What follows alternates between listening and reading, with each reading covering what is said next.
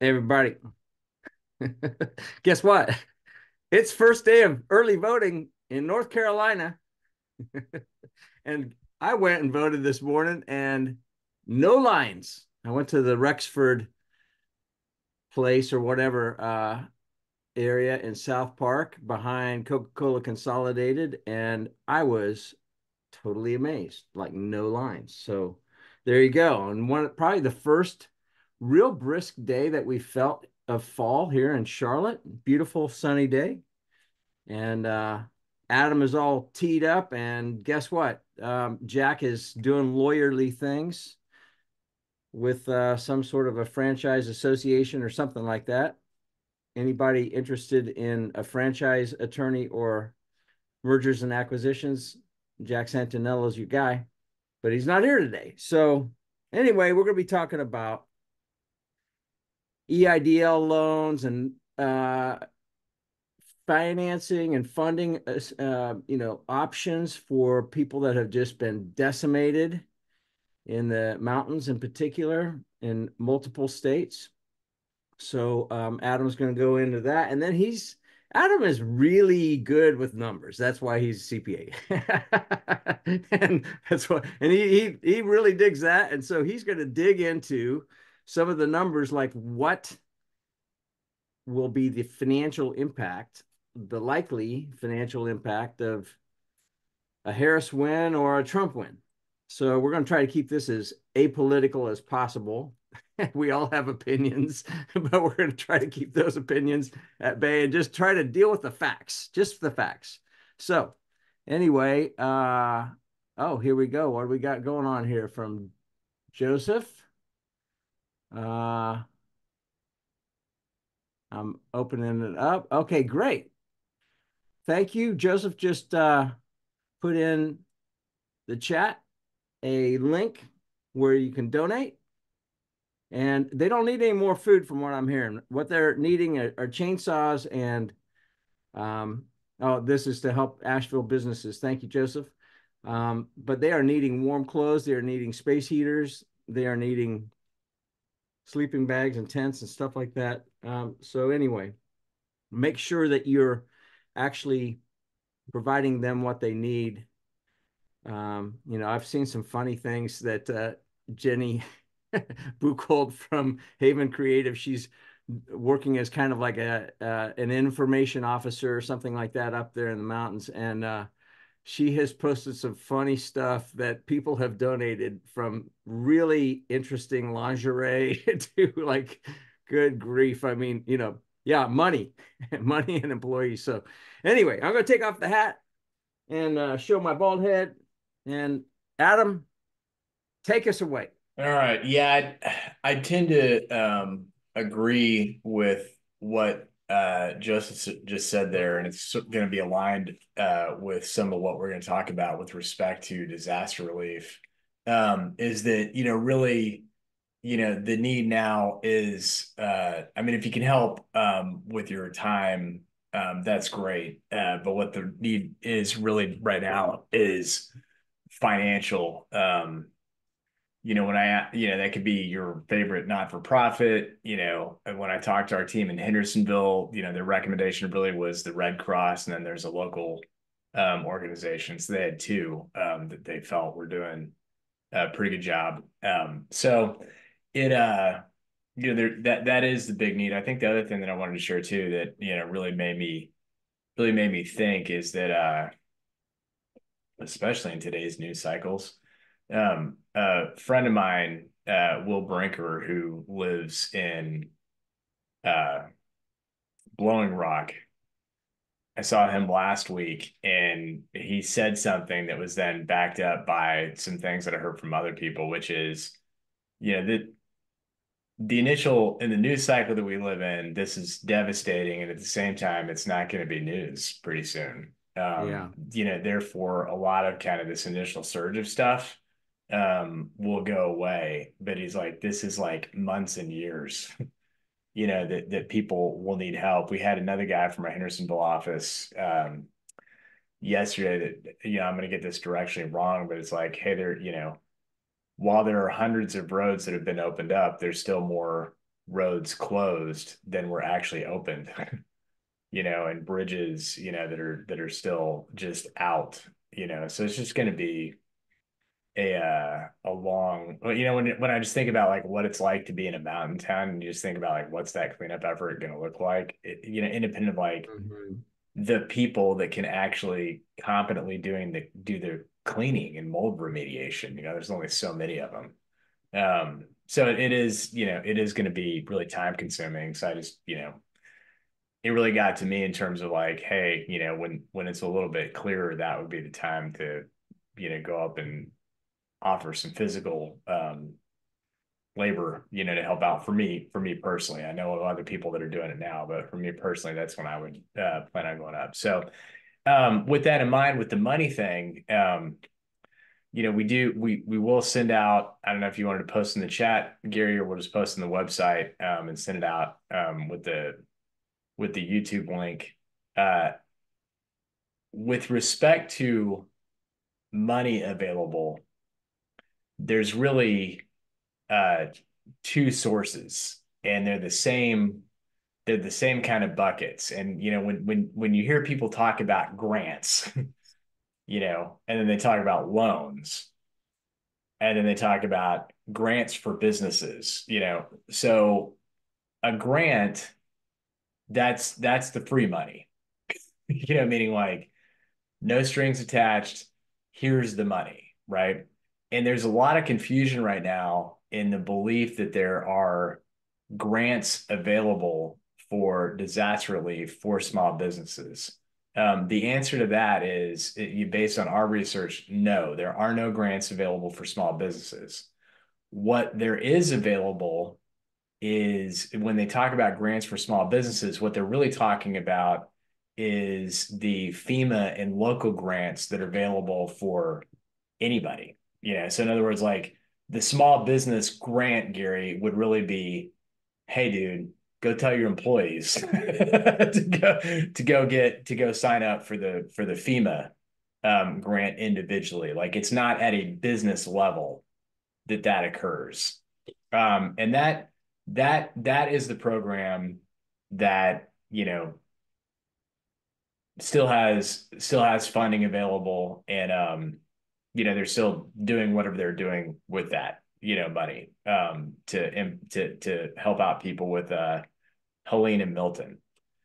The second category of things that are available for so, so in other words there is no small business grant that we're aware of. If anybody has heard of something that'd be great. Let us know but there's no grant available for small businesses. What there is available um, and this is where there could also be the opportunity for um, some confusion. What there is available for small businesses is an SBA loan and then there's a North Carolina equivalent of the SBA loan. So if we remember from the COVID days, since, you know, hopefully knock on wood, you know, not a lot of people in North Carolina for a long time have had to take advantage of an economic injury disaster loan. But in COVID, um, part of the uh, way that uh, small businesses were helped outside of the Paycheck Protection Program and the ERTC is you could also get a loan from the SBA um, related to a disaster, and COVID was de- declared a disaster. So a lot of our clients got money, you know, from the government related to EIDL loans, and it was a topic of a lot of these um, webinars. That that's not a new program, you know, that's been around for a long time. Um, so when it is, it was put in place for events just like this. So the same constructs of the program that were around with the with the with the pandemic and the CARES Act are available right now, which is basically, you know, same restrictions, you know, have to prove that you need it, you know, up to $2 million, you know, same kind of payment terms, same kind of personal guarantee over $200,000, you know, secured by the assets of the business, like all the stuff that was in place for EIDL loans before, in place now um, for EIDL. Uh, for Helene and, and Milton. And if you go to the SBA's website, you can actually, um, or the FEMA website includes links to get there. We've also included links to do it in the um, in the in the ebook that we put together. But you can apply for the loan now.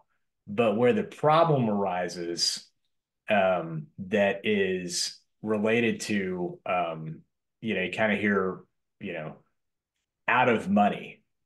Um, that that actually is a true statement. The SBA is out of money right now for this program. So if you if you apply, but at the same time they're accepting accepting applications because they're expecting that Congress will put more money into the program for this specific purpose. And you know that you know it's whether it's politics or not, you know, the Biden administration said, "Hey, Congress, come back into session. You know, recharge the money." And and uh, Speaker Johnson said, "No, no, no, no, no, because we kind of need to know one amount, and we're not even going to really know an amount. So let's just wait until after the election." So regardless, there's not going to be funding available um, until after the election. You know, which you know, kind of make an argument. Well, how many of them are going to get approved before the election anyway? I don't know. You know how fast those loans get posted, but the but the bottom line is, you know what what people are what business owners are encouraged to do is to apply now. You will not get money though until after the election, and you won't get money unless Congress actually appropriates funds to charge up the program, which is which is completely independent of um the uh FEMA. Like that's not related to FEMA at all. Um it, it's related it's related to the SBA. So, you know, it it's by you know there's bipartisan support for it. They just you know pick a different day to decide when to do it. So I, I'm going to um, choose to be positive today, Gary, and, and and believe that uh, all parties will do the right thing and uh, develop you know enough funding uh, for these loans and administer them uh, correctly, uh, which would mean that you know people actually need it. Because you know, I look, I gotta tell you, I love every one of our clients, and at the same time, you know, I'm maybe they're former clients, Gary, or maybe they're just people that I heard of. I know there's some people that got some EIDL loans that really did not need the money, but they got it because they could get it, you know. So, and that there was nothing wrong with that, you know, because you didn't, because the whole premise was, well, I don't know if I'm going to need it or not because I don't know how long this pandemic's going to last, right? Whereas with, I know if I had a disaster or not in the mountains. So if I was otherwise unimpacted, but I'm still applying, it's like I kind of would scratch my head on that. Um, related to that, through a related program through the SBA. Um, oh, thanks for that, Gary. Uh, the uh, from a related program through the SBA, you can also get a loan for physical damages, which really would apply in this case for businesses. Um, so you know you can either get up to $2 million for business damages or you can get up to $2 million for kind of economic injury, which would really be lost revenues. You can actually apply for both. It's just between the two, they cannot exceed $2 million. So the upper limit is 2 million bucks.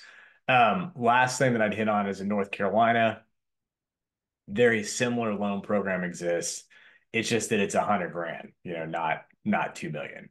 Um, so that that's what we that's what we know uh, so far. You know, that there are some some businesses, and we talked a little bit about it in the last webinar. You know, it you know people are setting up crowdfunding. Um, you know, just to hey, love this restaurant, help these guys out.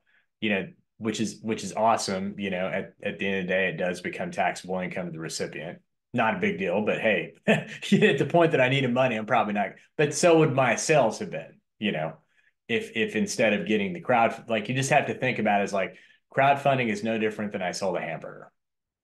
You know, I just don't have the costs of the hamburger, you know.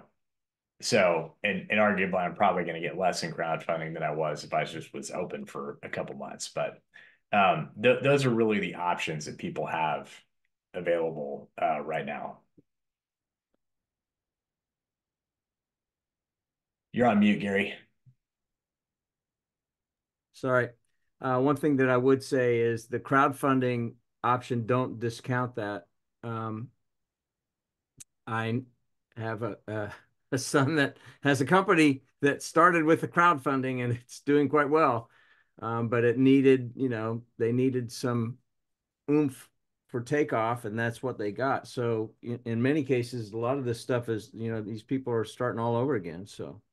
Yeah, no, I'd, I'd agree with that. And I remember, you know, for myself specifically, I didn't, I didn't, I didn't crowdfund. Um, I didn't do any crowdfunding during the pandemic, but I tipped really, really, really, really well in a lot of instances, which is kind of like, you know, same deal, right? Hey, I get takeout, you know, here's like an extra hundred bucks or whatever, you know, so it, uh, so I, I do think the same thing can happen for, for places. Cause again, this is debt. Like if I got to be, like if I got to be shut down for six months and, and I don't have access to something, I mean, it, it is catastrophic. You know, this is bad, bad, bad, bad. Yeah. You know, like I can't, this isn't quite like the pandemic where it's like, hey, I can still do takeout. You know, like I I can't do takeout because my restaurant is ruined.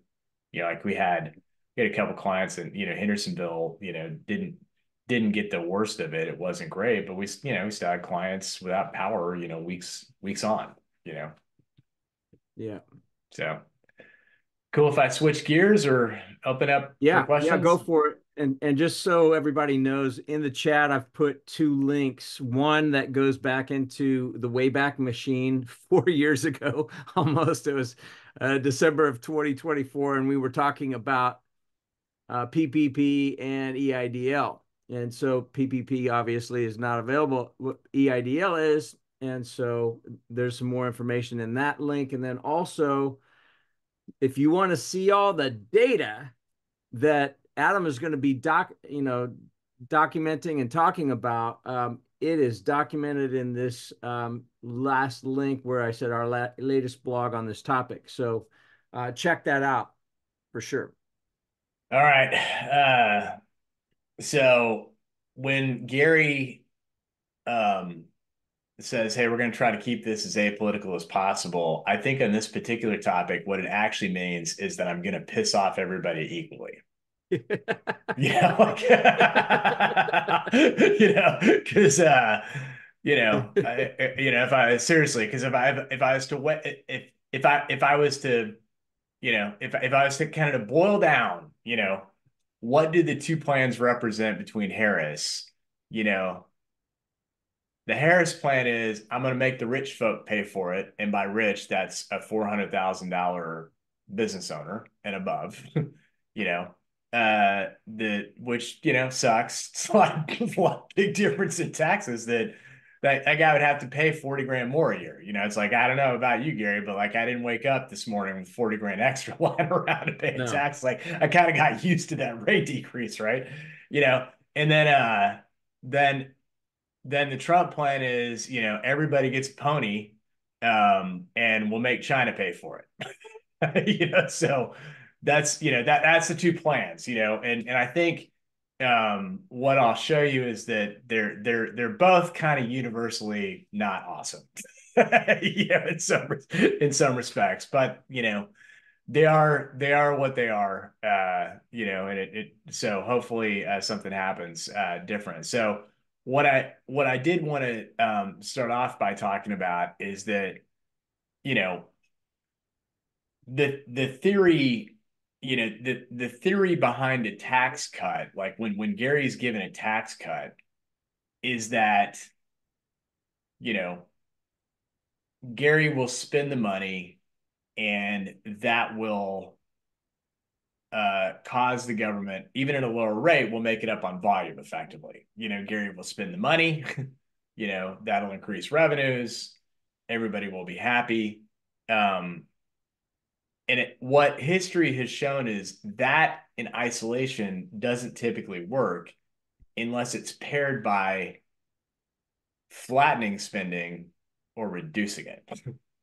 and that's sort of been, you know, up until you know, past Bill Clinton, that was the part like everybody forgot about.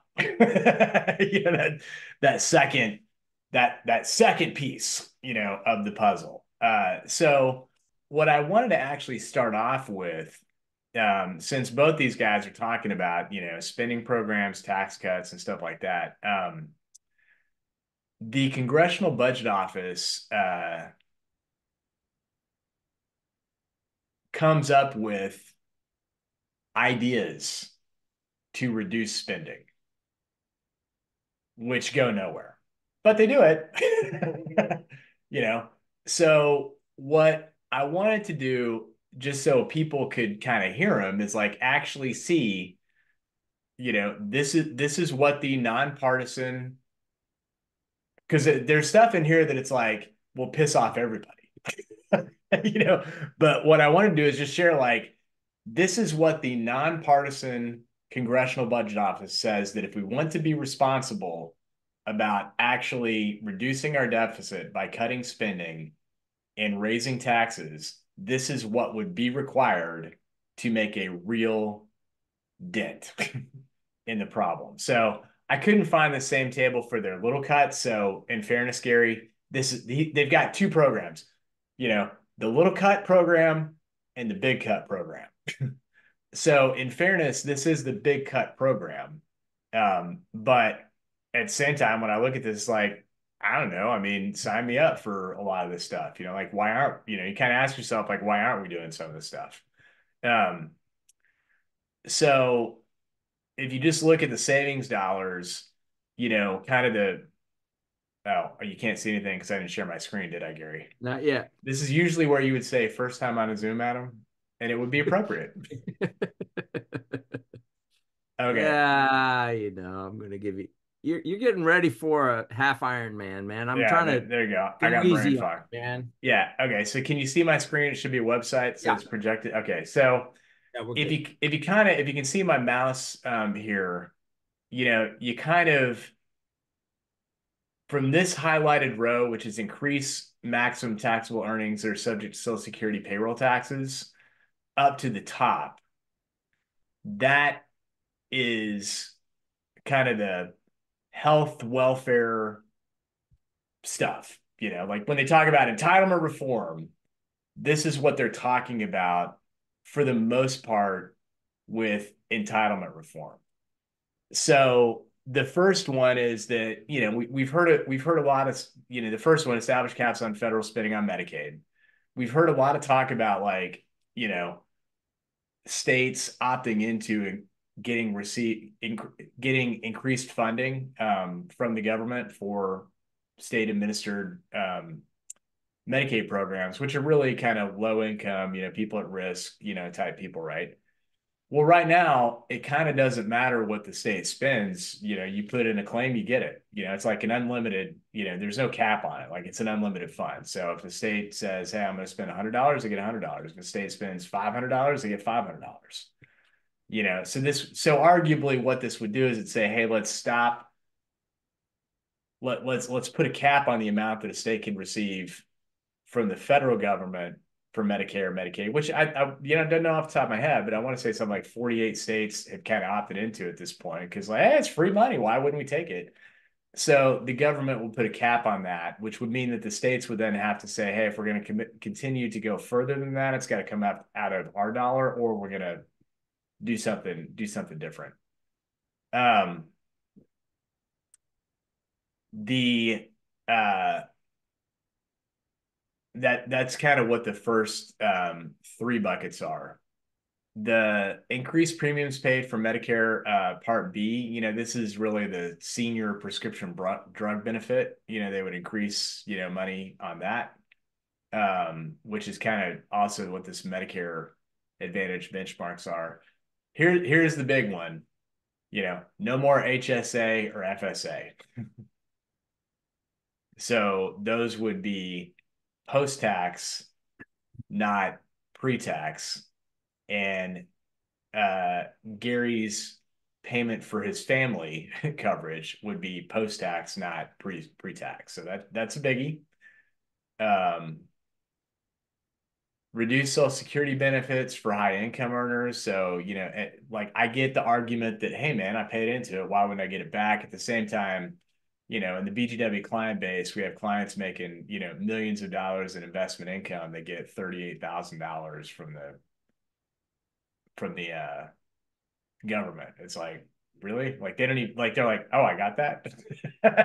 yeah, like they don't even remember they got it because so little relative to what they actually have. So that that would just say, hey man, I appreciate that you paid in, but if you make a certain amount, you don't get it um, back. Mm.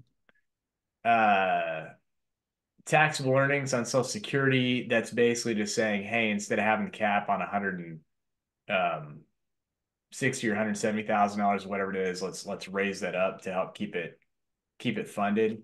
Um, what's what's not in here um, that you've also heard him talk about is just raise the retirement age, so there's less going out. You know, I'm also a big fan of that myself. Um, you know, this non non defense discretionary spending. You know, if you click on one of each one of these links, there's like a whole description of what it is. But th that's really the big, you know, kind of hey, let's cut the arts program, you know, type type stuff. And then, you know, there's also almost, you know, a trillion in here for reducing the defense's annual uh, budget. So then you get into the tax rate. And they've got specific proposals about like kill this program, kill this program, kill this program. Then you've got the tax rate increases around, um, you know, raising the individual rate, limiting itemized deductions, um, putting in, you know, kind of an increase the payroll tax to help fund Social Security, and then putting in some sort of national sales tax. um, and then this is the this is the carbon tax. So, you know, I mean, going through those, like, I just I know my opinion of looking at them, um, which is that sucks, but doesn't seem dire. you know, like in other words, like I look at these and I sort of feel like, yeah, that's sort of like me going to Julian saying we need to eat out less. Right. You know, like what am I? In other words, like with with these, while collectively they add up to a lot, you know, for Adam Boatsman, are there any that really feel like, oh my God, that's draconian? you know, it, it sort of feels like you need to eat out less, dude, and cook in a little bit more. So, you got any initial reaction, Gary?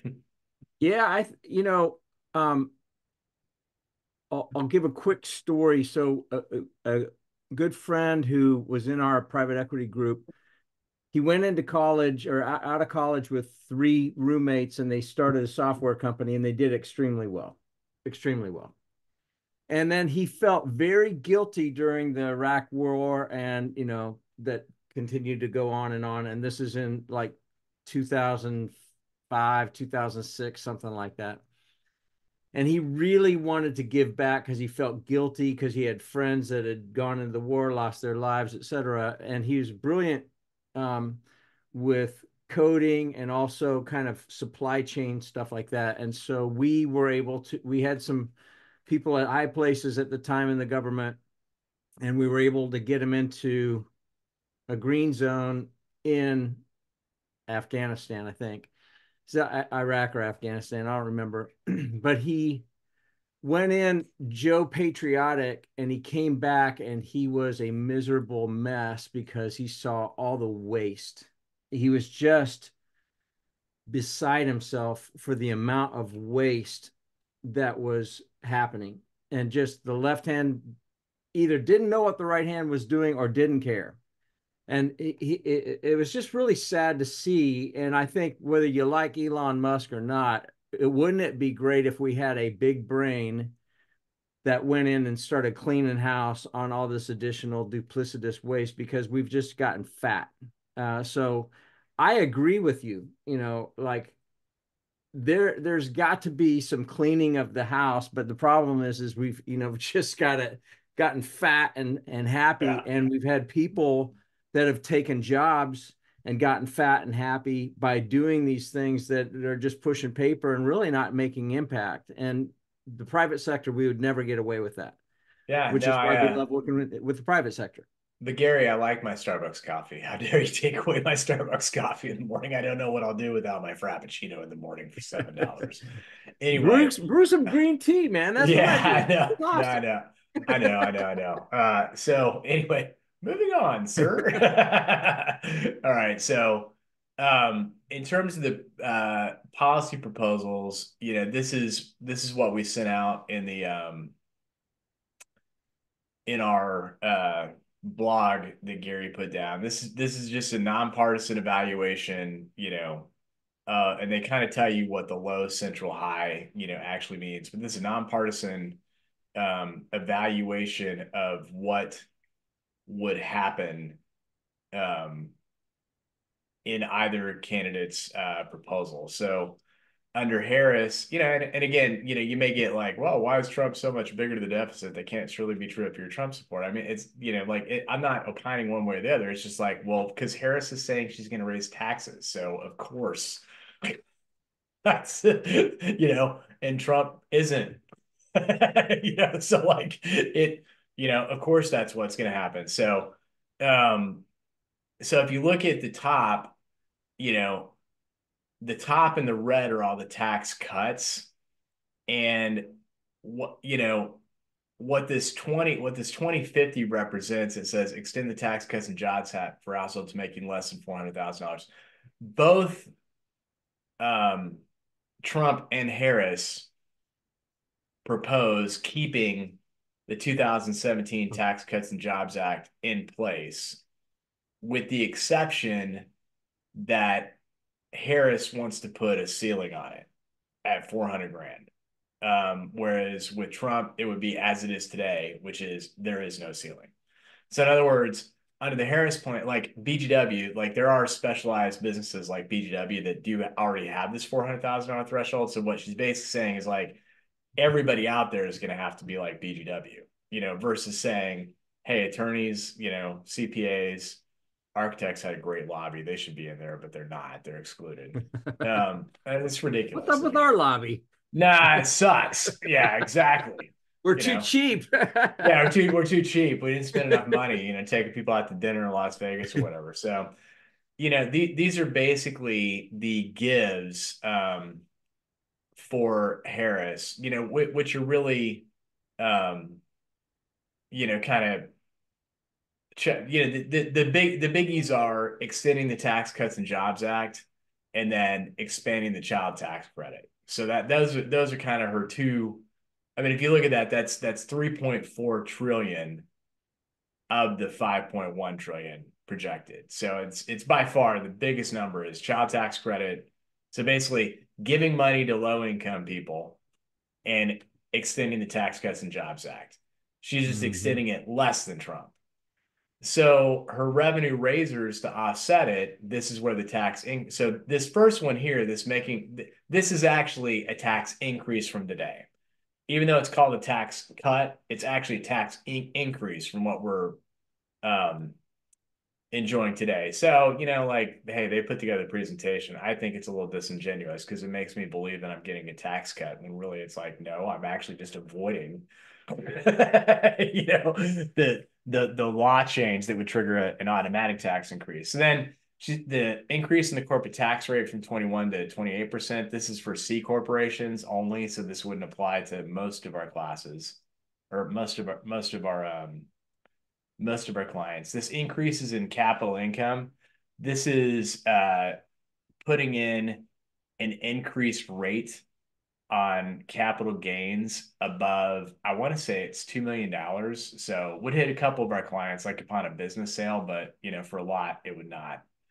Um, this is an increasing, um, kind of increasing the equivalent of social security taxes, uh, reform international, uh,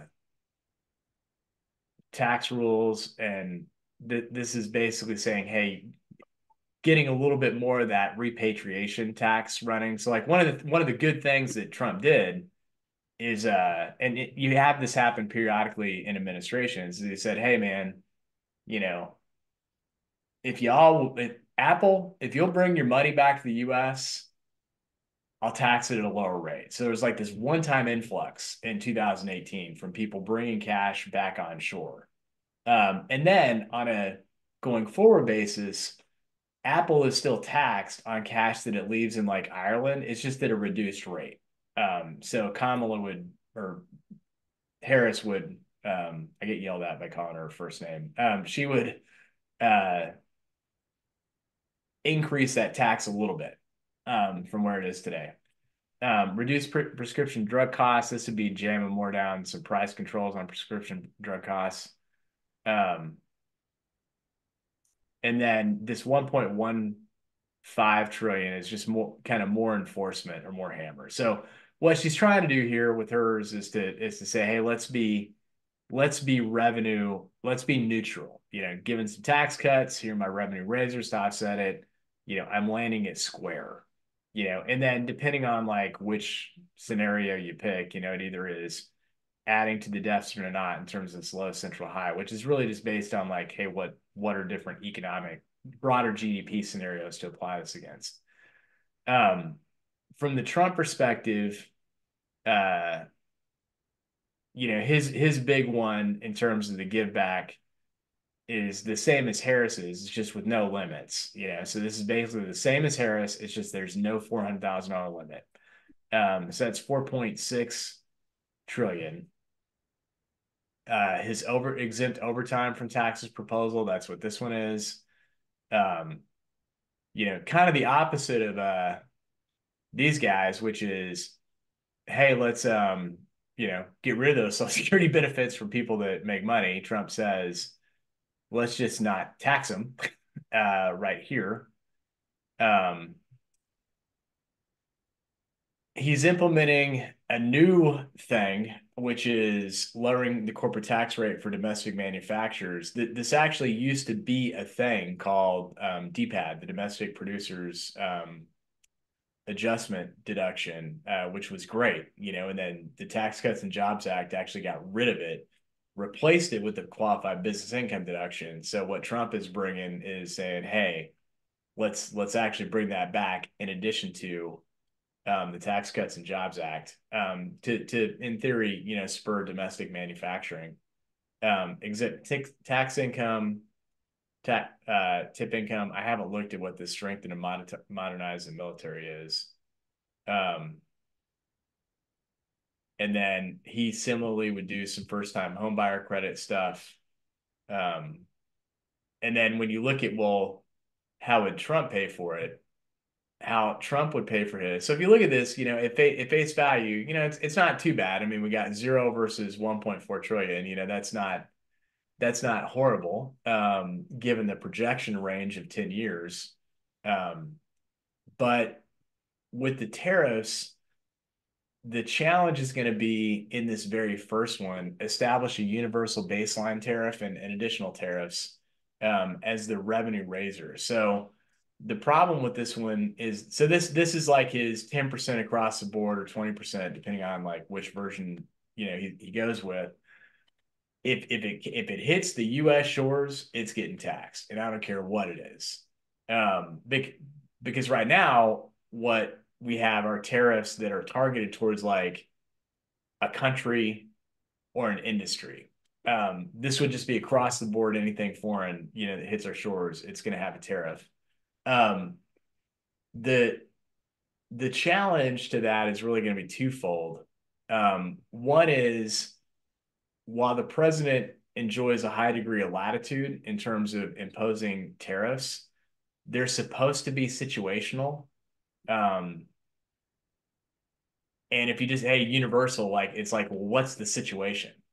You know, like with with um with uh steel and aluminum, you know, that which Biden kept a lot of this. What it's it's sort of like what happened with this is that tariffs were like a, hey, a little bit off limits for like every president, and Trump says, "I'm doing it." um, and then once Trump did it, Biden was like, "Oh, you got away with that? Well, hell yeah, I'm gonna keep that in place myself."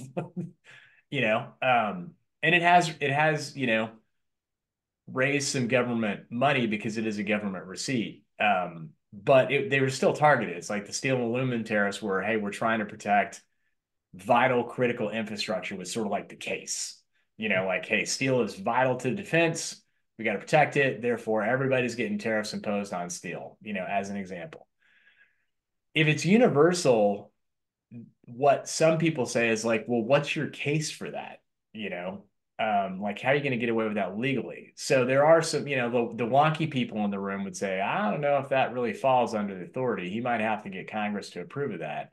And people in Congress would say, it doesn't matter which party, you know, you're in. People in Congress say, heck yes, you want to, um, you have to get our approval for that. You went too far. And at the same time, in the history of the United States, you know how many times that Congress has actually overridden the president on a tariff that the president wanted to impose, Gary? Uh, probably zero. Zero. so, you know, who freaking knows on this one? I mean, they, I, I pulled up an article uh, before um, preparing for this to talk about the tariffs um, from the Cato Institute, which, you know, is one of my favorites, Gary, the libertarian.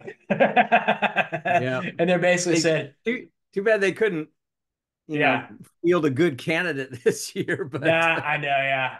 She's she's running again. Yeah, we need to start winning some local elections first and getting some momentum behind us. But the uh it's funny, like you know who one of you know who one of my favorite guys to watch was? I loved watching him every time, like I was addicted to him. John Stossel. You remember him? Oh yeah, yeah. I love John. mustache. Yeah, he's one of my favorite. Like he, I, you know, he's like the one of the poster childs for libertarians. Um, and like I just I miss seeing him. yeah. so much. well, I, I didn't John Stossel die. I thought like he may he may be, he may be dead, but he was on he was on 60 Minutes, yeah. and then he went to Fox News. Um, so yeah. after he left after he left 60 Minutes. Uh, yeah, I, I miss me some John Stossel. You know, he he could always give me he could always. No, he's still little, alive. Oh, he is he's okay. He, would always give me a little bit of the outcry. So, I just would love to know what is he doing today. You know, um, another another one that you don't hear from anymore. That even though he's a Republican, he probably leans libertarian is Grover Norquist. You know, mm. you don't you don't hear anything out of that guy anymore. So it's like what? You don't. So yeah, what would Grover do? You know. Um, but these are like these are you know when I get accused of being a liberal, Gary, I'm like I remind I love John Stossel, I love Grover Norquist. so, um, so the uh, well supposedly uh, uh, Koch Charles Koch was a libertarian, but I don't know. I he is like he is like he founded the Cato Institute, so I I, I believe that. Um, so the uh, so the the additional challenge with the tariff is that you you cannot dispute that um, they raise money for the government. But where it gets really fuzzy is well then kind of then what happens, you know? So if I if I give like a real world example of what would happen under this plan, Gary, is that um, you know one of our one of our clients that I'm meeting with this afternoon uh, is a domestic manufacturer. So check, yay, I have a lower tax rate. So right out of the gate, they're like, that's sweet. I got a 6% lower tax rate. However, they're owned by